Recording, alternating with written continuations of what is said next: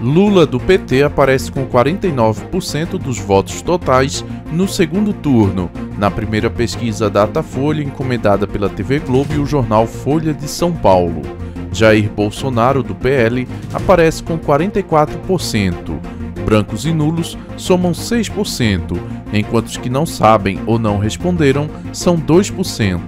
Nos votos válidos, Lula tem 53% e Bolsonaro 47%. Nesse cenário são excluídos indecisos, brancos e nulos. A pesquisa ouviu 2.884 pessoas entre 5 e 7 de outubro, em 170 municípios, com margem de erro de 2 pontos percentuais para mais ou para menos.